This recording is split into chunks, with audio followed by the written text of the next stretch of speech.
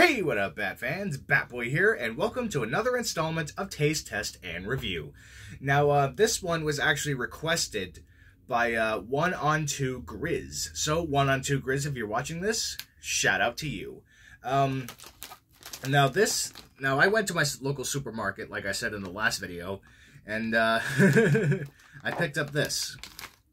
Uh, Fuego Takis. Now, I've actually, I actually really like Takis. Uh, I remember having the uh, blue ones, uh, Blue Heat, if I remember correctly. But, um, yeah. so, um, yep, and uh, this, they, uh, One on Two Grizz specifically requested that I try these. So, uh, yeah, now here, it, and here they are.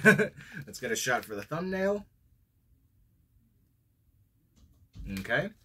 All right, so without further ado, guys, let's get into it. Alrighty. Take out a take out a chip right there.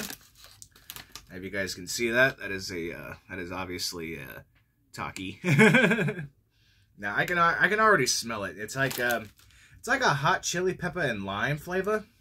Um, so yeah.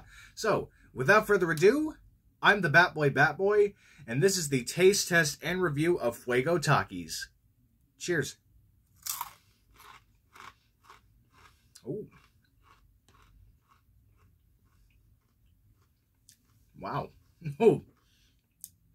Immediately I taste the lime.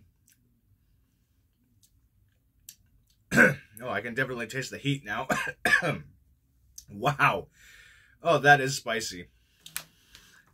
that is actually really darn good. Let's have another chip.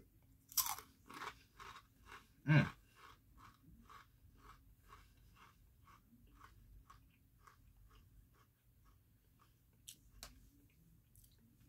Mm. Now that that was good. That was very very good. Um, on a scale of one to ten, Fuego Takis get an easy ten out of ten. Ten out of ten for the Fuego Takis. Um, yeah, but uh, anyway, guys, that was the excuse me.